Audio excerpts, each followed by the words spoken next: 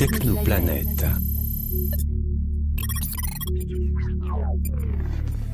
Information. Claire et nette.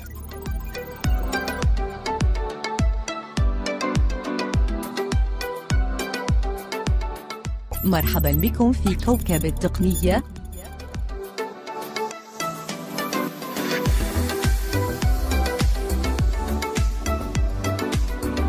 أيها المتابعون الأكارم أهلا وسهلا بكم في التسجيل الخمسين من تسجيلات ويندوز ديس بآخر التحديثات بعدما فرغنا من الحديث عن برنامج مضاد الفيروسات سننتقل إلى الحديث عن موضوع آخر يعتبر هو الخيار الثاني في خيارات حماية ويندوز أو سيكوريتي ويندوز هذا الموضوع أو هذا الخيار الثاني من الخيارات حماية الويندوز يسمى ببروتكسيون دو كونت حماية الحساب هذه الحماية على ماذا ستنطبق بالتحديد في نظام الويندوز وللإجابة عن هذا السؤال بالتفصيل يجب أن نتحدث أولا عن الحساب نظام الويندوز والأنظمة الأخرى جاءت بفكرة حساب حساب المستخدم أي المستخدم الذي يستخدم ذلك النظام يكون له حساب على هذا النظام هذا الحساب يمكن أن يجعله صاحبه مقفولا بكلمة السر ويمكن أن يخصص فيه من الإعدادات ما يشاء ومع تطور الأجهزة وشيوعها بين الناس واستخدامها بشكل متعدد من طرف الأشخاص في محل واحد أو في شركة واحدة أو في منزل واحد قامت الشركات المطورة لهذه الأنظمة بإضافة إمكانية الحسابات المتعددة أي أن نظاما واحدا وجهازا واحدا يمكن أن يحتوي أكثر من حساب في نفس الوقت وكل حساب من تلك الحسابات يتمتع بصلاحيات معينة حيث أن هذه الحسابات في السابق كانت حسابات محلية فقط ماذا نقصد بحسابات محلية؟ أي منشأة على نظام الويندوز فقط هناك حسابات أخرى كانت تعتمد على نظام الشبكة المنزلية ولكن هذه الحسابات فقط كانت لمشاركة الملفات وليس لاستخدام النظام بشكل كامل أما في ويندوز 10 فهناك نوعين هناك الحسابات المحلية والحساب السحابي ماذا نقصد بالحساب السحابي؟ الحساب السحابي هو حساب المايكروسوفت أي الكونت هوت مايل أو الأوتلوك أو لايف مايل الذي عندنا أي حساب شركة المايكروسوفت هذا هو الحساب السحابي أما الحساب المحلي فهو ذلك الحساب الذي نقوم بإنشائه عندما نقوم بفرمطة الجهاز ونكون في نافذة الإعداد نختار كونت لوكال أي حساب محلي ونقوم ب إعطائه اسما وكلمة مرور إذا أردنا ذلك فكرة الحساب السحابي هي نفسها فكرة الحسابات الموجودة عند أبل في أنظمتها وأجهزتها وعند جوجل في أجهزتها وأنظمتها أيضا بنفس الخصائص وبنفس الأفكار أي إذا كنت قد ربطت الويندوز بحساب المايكروسوفت فسأستفيد من الون درايف وأستفيد من البرامج التي تعمل مع الهوت ميل مثل البريد وإلى غير ذلك أما الحساب المحلي فينقسم بدوره إلى ثلاثة أقسام حساب المدير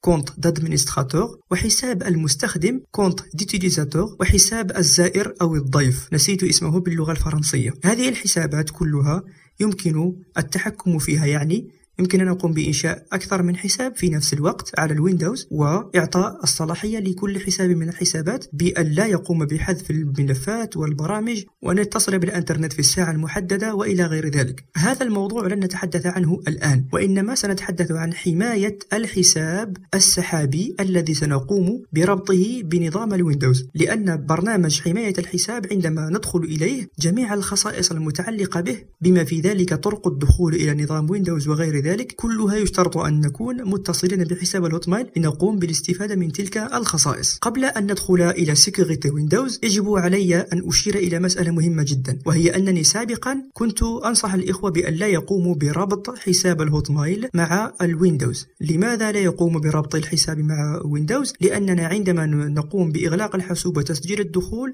مرة أخرى يطالبنا بإدخال كلمة السر الخاصة بالبريد الإلكتروني وهذه المسألة قد تكون مملة ومزعجة لبعض الإخوة في هذا التسجيل سنتعرف على كيفية ربط الويندوز بحساب الهوتمايل وكيفية تعطيل كلمة المرور عندما نقوم بتسجيل الدخول وفي التسجيلات المقبلة سنتحدث عن الخصائص الأخرى أو ما يتعلق بحماية الحساب وطبعا سنعرج على مسألة حذف الحساب إذا أردنا أن لا نستخدمه مستقبلا في هذا الحاسوب طبعا حذف الحساب حذف حساب الهوت مايل سيؤثر سلبا على جملة من الأشياء بما في ذلك حماية الويندوز من فيروسات الفيديا وأيضا إيقاف كافة الخدمات بما في ذلك كلمات المرور أو البصمة أو تعرف على الوجه الموجود في ويندوز وإلى غير ذلك كل هذه الأشياء سنتحدث عنها في وقتها إن شاء الله ولكن حذف الحساب سيعطل كل خيار قمنا بتشغيله فيما يتعلق بحماية الحساب لأن الويندوز عندما يقول لك حماية الحساب يعني حماية حساب المستخدم الحالي من القرصنة وإلى غير ذلك بما في ذلك طرق تسجيل الدخول وبعض الأشياء الأخرى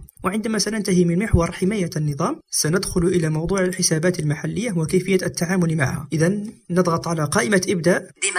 وننزل إلى غاية Security Windows Security Windows حماية النظام Security Windows Security Windows fenêtre Fermez la navigation bouton Item list نرجع إلى غاية إغلاق التصفح Paramètre 2 list Fermez la navigation bouton طاب مرة واحدة list Accueil 1 sur 8 الصفحة الرئيسية ننزل Protection contre les virus et menaces non sélectionnées 2 sur 8 هذا حماية الويندوز من الفيروسات والتهديدات ننزل protection دي compte non sélectionné 3 سور 8 حماية الحساب protection du compte نضغط بالإدخال على حماية الحساب سيليكسيوني protection du compte compte مايكروسوفت كونيكسيون بوتون عندما ضغطت على حماية الحساب بالإدخال مباشرة أخذني إلى زر الاتصال نرجع إلى غاية بارامتر 2 سور 2 إعدادات 2 من 2 2 بارامتر سور 2 ثم نتصفح الكائنات إلى الكائن التالي الآن نقرأ الكائن التالي protection du compte. قال حماية الحساب. Sécurité pour votre compte et vos infos d'identification. يقول لك حماية الحساب وحماية الهوية يعني حماية هوية الحاسوب أو حماية هوية الحساب. Compte Microsoft. يقول لك حساب المايكروسوفت. طبعا حماية الحساب يقصد به الحساب حساب المايكروسوفت وليس الحسابات المحلية لأن الحسابات المحلية التعامل معها من مكان آخر نستعرض الكائن التالي يقول لك قم بتسجيل الدخول إلى كونت مايكروسوفت لتقوم بالاستفادة أو لتستفيد من الحماية ومجموعة من المزايا الأخرى قال لي كونت مايكروسوفت كونكشن بوتون في الكائن التالي نزيد للكائن التالي رؤية المزيد من المعلومات يعني رؤية المزيد من المعطيات المتعلقة بهذا الموضوع نقرأ عن هذا الموضوع التجاهل لو تجاهلت هذا الخيار فلن أستفيد من أي شيء في هذا الخيار أو في هذا الموضوع في موضوع حماية الحساب لذلك الإخوة الذين لا يرغبون في تسجيل الدخول بالمايكروسوفت يقومون بتجاهل هذا التسجيل وما يليه إلى حين تغيير المحور يقول لك لاستخدام ويندوز إيلو اتصل بالكونت مايكروسوفت ويندوز إيلو ويندوز إيلو n'est pas configuré ويندوز إيلو إدارة طرق الدخول طرق تسجيل الدخول للويندوز طبعا أنا أستعرض الكائنات الفيروياج ديناميك هذا متعلق بتأثيرات الشاشة يقول لك بأن هذا الخيار يعني تأثيرات الشاشة غير معدة أو غير مضبوطة لكنها موجودة أو متاحة على هذا الجهاز عندما أضغط على بارامتر دو فيروياج ديناميك يدخل إلى البارامتر ولكن لا يقرأ نطق أي شيء هذا يقول لك الفيديو دو لا كوميونيتي يشرح لك التعامل مع هذا الموضوع نحن نقف بالمؤشر العادي على بارامتر 2 سور 2 بارامتر ايليمون دو ليست فوكاليزي 2 سور اذا نضغط طاب مره واحده نحن كنا نستعرض الكائنات سابقا والان نضغط طاب مره واحده مايكروسوفت كونيكسيون بوتون كونيكسيون بوتون اذا اردت تسجيل الدخول اضغط على كونيكسيون بوتون انا ساقوم بتسجيل الدخول كونيكسيون بوتون كونت مايكروسوفت كونت مايكروسوفت ننتظر قليلا دوكيومون بار دو بروغريسيون اوبتوني بلو دو كونتينو ان فو كونيكتون دوكيومون Saisissez votre contact email, téléphone ou Skype. Édition obligatoire connexion. إذا نحن الآن نقف على إدخال البريد الإلكتروني. Saisissez votre contact email, télé... نقوم بكتابة البريد الإلكتروني. The chaîne.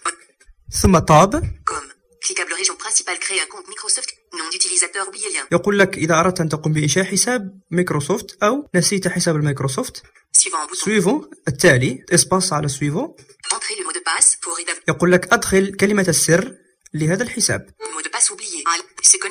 نضغط طاب إلى غاية سكونكتي أي تسجيل الدخول وإسباس مسافة Mot de passe Windows Actuel édition protégée connexion à cet ordinateur à l'aide de votre compte Microsoft. هنا يجب التركيز على هذه الأشياء يقول لك إذا أردت أن تقوم بتسجيل الدخول إلى ويندوز بكلمة سر أخرى مود باس اكتويل الحالي يقول لك اكتب هذه الكلمة هنا نحن سابقا عندما كنا نقوم بتسجيل الدخول بالهوت مايل لم يكن يسألنا هذا السؤال في النسخ السابقة لكن في هذه النسخة نسخة ماي 2019 يسألنا يقول لك هل تريد أن تقوم بتسجيل الدخول بكلمة السر الحالية ويقول لك اكتب هذه الكلمة طاب suivant un bouton connexion à cet ordinateur à l'aide de votre compte Microsoft. La prochaine fois que vous vous connecterez à cet ordinateur, utilisez votre mot de passe de compte Microsoft Windows Hello si vous l'avez configuré. Nous aurons besoin de votre mot de passe Windows actuel une dernière fois.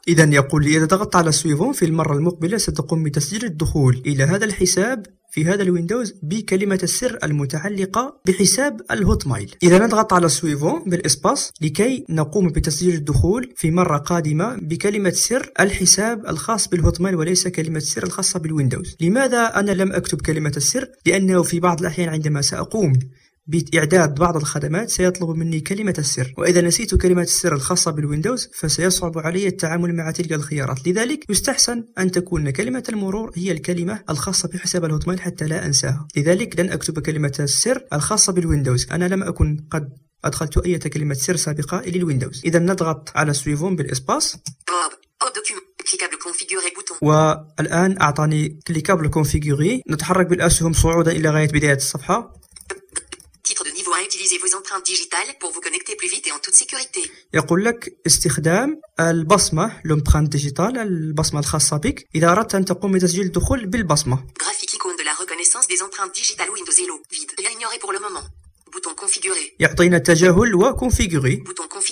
أنا سأتجاهل هذه الأشياء لكي أتحدث عنها لاحقا إذا التجاهل الآن إدخال أو إسباس يقول لي كريي أن كود كونفيدونسيال كلمة سر خصوصية أو خاصة بك نضغط على كنترول أوريجين لنصعد إلى بداية الصفحة لنقرأ الرسالة ننزل secondes à créer vous permet de vous connecter rapidement. يقول لك اجعل الحاسوب يتصل بسرعة، اجعل نفسك تسجل الدخول بسرعة، إذا أردت أن تقوم بذلك فاكتب كود كونفيدونسيال. علامة استفهام. Un code confidentiel Windows Hello. علامة تعجب. Il fonctionne uniquement sur votre appareil. Par conséquent, il n'est pas disponible sur le web. يقول لك بأن هذه الكلمة ستكون متاحة لإدخالها في الويندوز وغير متاحة في إدخالها إذا كنت متصل بالويب. نضغط على بوتون سويفو مباشرة. Veuillez patienter. وننتظر الخطوة التالية. Sécurité Windows dialogue sécurité Windows configurer un code confidentiel, créer un code confidentiel utilisable à la place des mots de passe. La définition d'un code confidentiel simplifie la procédure de connexion à votre appareil, à vos applications et à vos services. Nouveau code confidentiel édition protégée. بعدما انتظرنا قليلا جاءت هذه النافذة يقول لك فيها تقوم بإدخال الكود كونفيدونسيل كلمة السر الخاصة بك طاب Confirmer le code confidentiel. التأكيد على الكود كونفيدونسيال. Inclure des lettres et des symboles cases. إدخال الأحرف والعلامات غير محددة أوكي يعني موافق أنولي بوتون إلغاء الكود كونفيدونسيال ضروري أن نقوم بإدخاله نكتب هنا الكود كونفيدونسيال نقوم بإعادة كتابته مرة أخرى أنا أنصح بأن نكتب كود كونفيدونسيال مكون من أحرف وأرقام وأنصح بشدة أن نجعله كلمة سر نستطيع تذكرها لاحقا بالمناسبة يجب أن نقوم بالتحديد على عبارة انكلوغ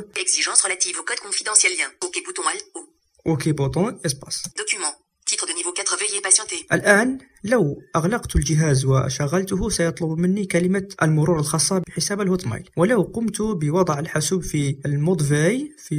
وضع السكون أو السبات سيطلب مني هذه الكلمة مرة أخرى نضغط على ويندوز بلس ال لنقوم بجعل الحاسوب في وضع السبات بيو. écran de verrouillage par défaut de Windows Fenêtre. écran de verrouillage écran de verrouillage de verrouillage, نحن في شاشة الفيروياج شاشة الدخول وشاشة القفل نضغط على أي زر bureau sécurisé يقول لك بيرو سيكوريزي سطح المكتب آمن Windows dialogue Rida Waken, j'ai oublié mon code confidentiel option de connexion affiche une liste des options de connexion disponibles pour l'utilisateur sélectionné code confidentiel édition protégée vide يقول لك اعطيني كالكود كونفيدونسيال لتقوم بتسجيل الدخول الى الحساب نقوم بادخال الكود كونفيدونسيال الكود الذي كتبناه سابقا ليس كود الهوتميل وانما الكود كونفيدونسيال ثم طاب الى انفوي او ادخال مباشره بعد كتابه الكلمه بيرو ليست بالابولكا إذا هذه المسألة مملة ومزعجة قليلا لذلك ماذا سنفعل الآن؟ آخر جزئية في هذا التسجيل هي كيفية الاستغناء عن طلب الويندوز منا تسجيل الدخول بكلمة المرور نضغط على ويندوز بلس R ثم نكتب N E T P L W I Z N E T P L W Z إدخال Contrôle de compte d'utilisateur Dialogue Contrôle de compte d'utilisateur Voulez-vous autoriser cette application à apporter des modifications à votre appareil Panneau de configuration avancé des comptes d'utilisateur Éditeur vérifié Microsoft Windows affiché plus de détails يقول لك في الرسالة هذه ها هو البرنامج الذي سيقوم بالتغييرات Panneau de configuration avancé qui d'utilisateur هو الذي سيقوم بالتعديلات نضغط على Alt O Compte d'utilisateur dialogue. Utilisateur page de propriété. Utilisez la liste ci-dessous pour accorder ou refuser aux utilisateurs l'accès à votre ordinateur et pour modifier les mots de passe et d'autres paramètres. Les utilisateurs doivent entrer un nom d'utilisateur et un mot de passe pour utiliser cet ordinateur. Case à cocher, plus Nous e. نزيل التحديد عن هذا الخيار يعني يقول لك هذا النظام سيطلب من هذا المستخدم إدخال الاسم وكلمة المرور نزيل العلامة علامة التحديد ثم ماستاب إلى غاية أوكي بوطون c'est connecté automatiquement Dialogue. Vous pouvez configurer votre ordinateur afin que les utilisateurs n'aient pas à entrer un nom d'utilisateur et un mot de passe pour se connecter. Pour cela, spécifiez ci-dessous un utilisateur qui sera automatiquement connecté. d'utilisateur. mot de passe édition protégée Alt plus M vide. يقول لك بأنك ستقوم بالسماح لجميع الأشخاص باستخدام هذا الحاسوب لو قمت بإزالة هذا الخيار أو شيء من هذا القبيل. يقول لك أدخل كلمة السر للتأكيد. ندخل كلمة السر ثم طاب تأكيد كلمة السر لأن الموضوع خطير كما يعتقد الويندوز ثم طاب اوكي بوتون اوكي بوتون اصبص على اوكي طبعا هذا الخيار أنصح به للإخوة الذين لا يريدون أن يدخلوا كلمة السر بعد إيقاف الحاسوب وتشغيله مرة أخرى ولكن بما أنني قمت بإدخال البريد الإلكتروني وأريد أن أحمي النظام من تسجيل الدخول إليه من طرف المتطفلين أو أي جهة أخرى فلا يستحسن أن أقوم بإزالة التحديد عن هذا الخيار أنا سأعيد تحديد الخيار إذا نضغط على ويندوز بلس أخ ثم نكتب net n e t n e t p L W I Z net plus N E T P L W I Z إدخال bureau sécurisé على سطح المكتب Compte d'utilisateur dialogue. Utilisateur page de propriété. Utilisez la liste ci-dessous pour accorder ou refuser aux utilisateurs l'accès à votre ordinateur et pour modifier les mots de passe et d'autres paramètres. Les utilisateurs doivent entrer un nom d'utilisateur et un mot de passe pour utiliser cet ordinateur. Case à cocher non cocher L plus E. بالمسافة. Cocher. ومرتبة لغاية OK. OK bouton. بغوليست نحن الآن قمنا باسترجاع الأمر إلى ما كان عليه أي عندما سأقوم بإغلاق الحاسوب وتشغيله مرة أخرى سيطالبني بكلمة السر أنا أنصح بهذه الأشياء لكي يبقى الحساب محمي إما ب كود كونفيدونسيل الذي كتبناه أو بكلمة سر الإيميل طبعا أنتم تعرفون أن الحاسوب لديه جملة من الطرق التي يمكن أن نغلقه بها هناك السبات والسكون والإغلاق وإعادة التشغيل والقفل القفل بويندوز بلس ال عندما نقفل الحاسوب بويندوز بلس ال لا يمكن أن لا يطلب مني كلمة المرور عندما أريد تشغيل الحاسوب لماذا سمي قفلا لأنه يعتمد على هذه المسألة أما في وضع السكون في الفي يمكن أن نجعل الحاسوب لا يطلب مني كلمة المرور ولكن بما أنني قمت بإدخال البريد الإلكتروني وأنا أعرف لماذا قمت بإدخال البريد الإلكتروني لأنني أريد أن أحمي الحاسوب فأرى بأن تلك الأشياء ليس لها معنى ولكن الشيء بالشيء يذكر إذا أردنا أن نستفيد من الخدمات التي يتيحها ربط النظام بالهوت مايل يمكن أن نقوم بإدخال البريد الإلكتروني ونقوم ببرمجة الحاسوب على ألا يطالبنا بكلمة السر في أغلب الأماكن التي ندخل إليها إذا نختم بكيفية جعل الويندوز لا يطالبني بكلمة المرور عندما أخرج من السكون أضغط على ويندوز بلس R ثم أكتب جي بي الجي التي بجوار الاف والبي ثم او دي اي تي يعني اي دي اي تي نقطة ام اس سي ام اس سي نضغط بالإدخال Bureau sécurisé. نوافق على رسالة سطح المكتب الآمن. Éditeur de stratégie de groupe local. Arborescence. Niveau 0 stratégie ordinateur local développé 1 sur 1. هذه النافذة التي دخلنا إليها الآن وهي التحكم في المجموعات أو مجموعة التحكم في الحاسوب هي متاحة فقط للأشخاص الذين يستخدمون ويندوز بروفيسيونيل. إذا ننزل بالسهم مباشرة. Niveau 1 configuration ordinateur développé 1 sur 2. Configuration ordinateur, computer configuration. Niveau 2 paramètres du logiciel réduit 1 sur 3. بارامتر بارامتر دو لوجيسيال آه الخيار الاول طبعا انا ننزل بالاسهم الثاني بارامتر ويندوز ريدوي 2 sur 3 نيفو 2 بارامتر لا يهمنا ننزل الخيار الثالث موديل دادمينستراسيون ريدوي 3 sur 3 نيفو موديل دادمينستراسيون ادمينستراتور تومبلات نفتحها بالسهم الايمن ديفلوبي 8 ايليمون ننزل الى غايه سيستم امبريمون 2 سيرفر 6 sur 8 سيستم ريدوي 7 sur 8 نفتح السيستم بالسهم الايمن ديفلوبي 48 ايليمون ننزل إلى غاية جيستيون داليمونطاسيون جيستيون داليمونتاسيون ريدوي 18 إدارة الطاقة نفتحها بالسهم الأيمن ديفلوبي ننزل إلى غاية نيفو 7 بارامتر بارامتر دو لا فيل 3 سور 7 بارامتر دو لا فاي سيتينغ دو سليب أو ما شاكل ذلك بالإنجليزي مباشرة نضغط طاب مرة واحدة ليست اوتوريزي لا كونيكتيفيتي ريزو pendant la veille connectée sur 7 heures. État non configuré. عندي عشرون عنصرا في هذه اللائحة عشر عناصر متعلقة بالإعدادات المتعلقة بالحاسوب عندما يكون متصل بالتيار الكهربائي وعشر إعدادات متعلقة بالحاسوب عندما يكون متصل بالبطارية سننزل إلى أن نسمع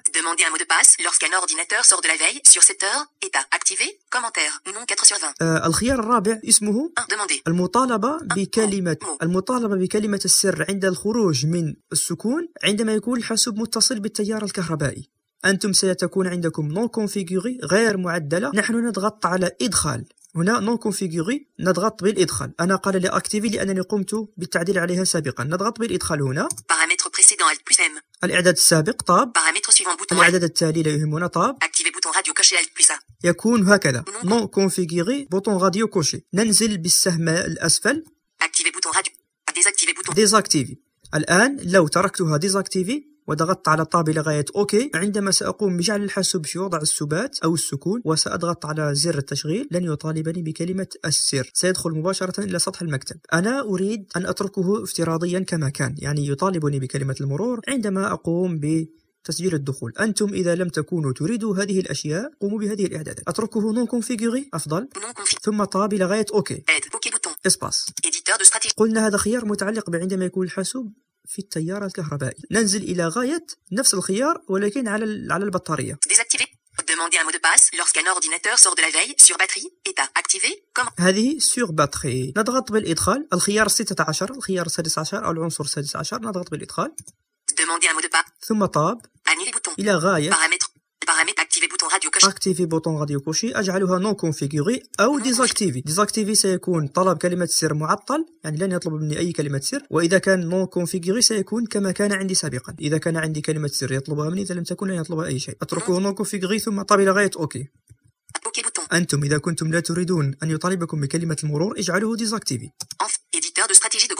نغلق النافذة بألت F4. ونكون قد أنهينا شرحنا لهذا اليوم في التسجيل المقبل سنتحدث عن خيارات الدخول وهذا الموضوع سيعنى به الأشخاص الذين لم يقوموا بالتعديل على الموضوع المتعلق بطلب كلمة المرور سواء في تشغيل الحاسوب أو بعد إخراجه من السبات والسكون سنرى ماذا يقصد الويندوز بطرق الدخول وكيف نقوم بإعداد تلك الوسائل المتاحة لتسجيل الدخول إلى ذلك الحين دموا بخير والسلام عليكم ورحمة الله وبركاته